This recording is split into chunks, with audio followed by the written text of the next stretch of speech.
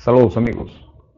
En este video les voy a presentar mi solución al ejercicio número uno, como se muestra aquí, pero del banco de trabajo Image, imagen.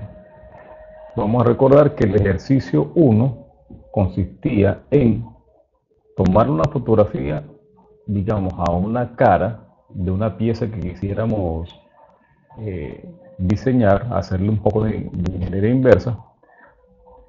¿sí? Una vez que le tomamos la fotografía, íbamos a buscar la manera de escalarla de, la, de manera que el tamaño que del, que, del tamaño que quedara de la pieza en nuestro documento FreeCAD fuera eh, lo más fiel posible al tamaño real de la, de la pieza. ¿Ok? Eso es lo que queremos. Y, pero estábamos imponiendo una restricción y era que estábamos suponiendo que no contábamos con un vernier para hacer las medidas. Entonces vamos a apoyarnos en la fotografía que vamos a hacer y, eh, y bueno, para ver si, si la escalamos. Esta, yo les voy a decir, esto es algo, como les decía, algo inmediato, pero lo que quiero es que se vea cómo se puede utilizar el banco de trabajo este imagen eh, en el momento en que no tengamos la, un vernier. Esto es para esta parte, para esta primera parte del ejercicio. En, van a haber dos partes más que van a ser un poquito más elaboradas, siempre fácil, pero un poquito más elaborada que esta. Entonces, lo que teníamos la vez pasada era algo así como esto. Digamos que, bueno, lo que le estaba mostrando, y es donde, como voy a hacer el ejercicio, esto que ven acá es una herramienta que yo diseñé, diseñé e imprimí a propósito de que me tocó armar, desarmar y armar una, una cerradura de pomo. Por acá, por este lugar, voy a colocar los enlaces, por si alguien llega a tener una, situación parecida y ver que puede ver cómo se desarma. Pues. Y, bueno, lo que quería hacerle la ingeniería inversa, suponiendo que no, no, tengo el diseño ni las medidas, a esta pisita pequeña, a esta porque es un poquito más sencilla que esta. Pero como no voy a terminar la pieza, lo que voy a hacer, lo que les voy a decir es cómo hice lo que hice. ¿Está bien? Entonces, lo que les recomiendo en este caso es ubicar la, pieza que queremos. En este caso no tiene que estar, fíjense que aquí está, esto es, esto es horizontal, ¿está bien? Y esto, este lado recto, también este lado que aquí es recto, uno puede ir a intentar que quede paralelo al horizontal, ¿no?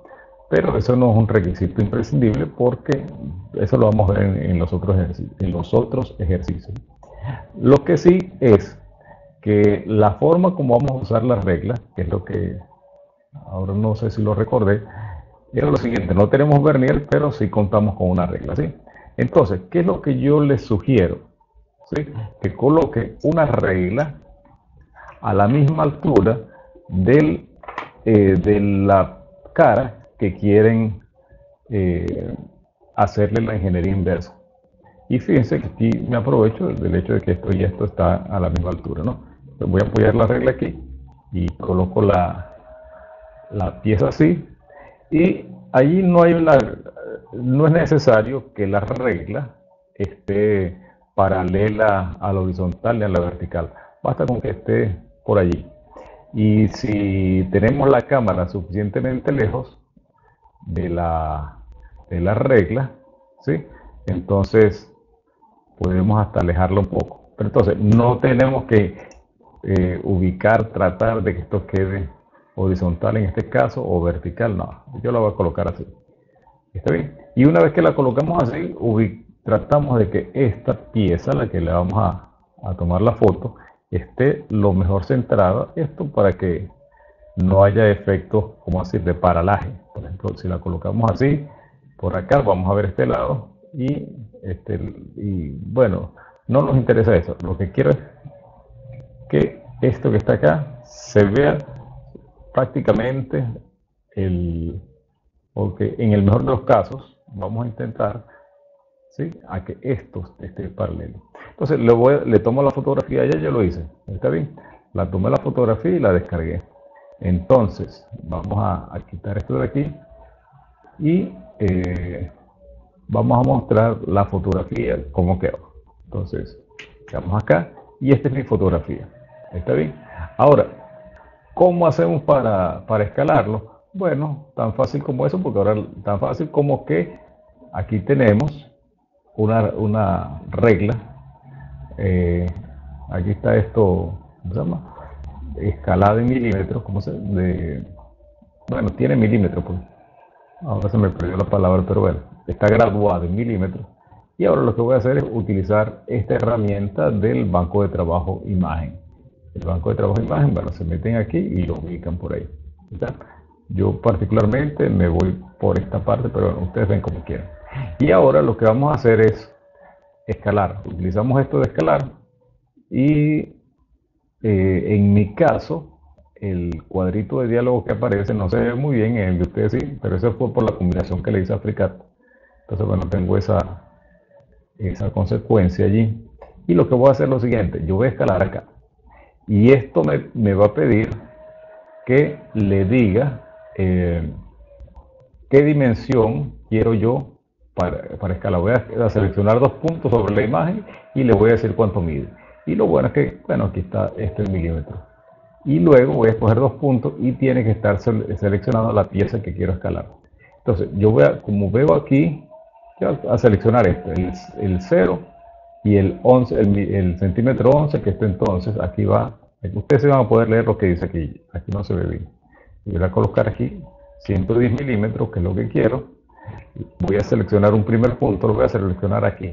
Entonces me voy aquí y con el control y, el, y la ruedita hacia arriba, girándola hacia arriba, entonces me acerco lo más que pueda y le doy un clic aquí, digamos.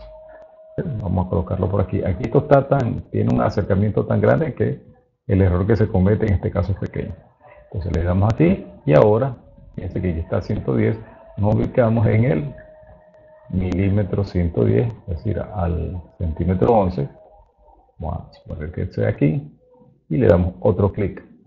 Lo que pide este cuadrito de diálogo es que ahora ubique la, eh, la imagen que queremos escalar. Entonces le damos aquí un clic y le decimos OK y con eso ya resolvimos nuestro problema. Si esto de aquí mide 111 y estamos, perdón, desde aquí hasta aquí, hasta aquí mide 111 milímetros, bueno, esto va a estar con las medidas que queremos. ¿Está bien? Por ejemplo, si midiéramos, ya de una manera ya tenemos la forma de escalar. Todavía no podemos hacer el, diseño, o si pudiéramos, pero va a ser un poco difícil. Para eso voy a hacer los otros, el otro par de, partes de este ejercicio. Bueno, eso es lo que les tenía por ahora. Este, si les gustó esta solución, que como les adelantaba en el video anterior, en el del ejercicio, donde lo componía, este va a ser muy rápido y muy sencillo, muy simple. Yo lo que sí es que no sé si en general muchas personas hacen esto que les estoy haciendo o eh, están tienen un vernier o si no tienen un vernier no encuentran cómo hacer. Entonces bueno, esta es una forma de utilizar eh, una regla para sacarle bastante precisión a esto. Lo que sí aquí pudiéramos hacer un ejercicio, vamos, a decir, de reflexión y empezar a buscar, como siempre hay en cualquier situación que nos enfrentemos, hay fuentes de errores. ¿sí? Por ejemplo, si, la cámara está muy cerca de, nuestra pieza que vamos a fotografiar, si está muy lejos, si como queremos. Entonces, ¿qué es lo que yo les sugiero? Que empiecen a buscar fuentes posibles de errores ¿Para qué? Ah, bueno, para que sepan que eso, hasta dónde pudiera estar exacto lo que queremos, preciso lo que, estamos presentando ahí, y si hubiera algo que, hubiera que mejorar, también lo haga. Entonces, bueno, yo les voy a dejar este video hasta acá.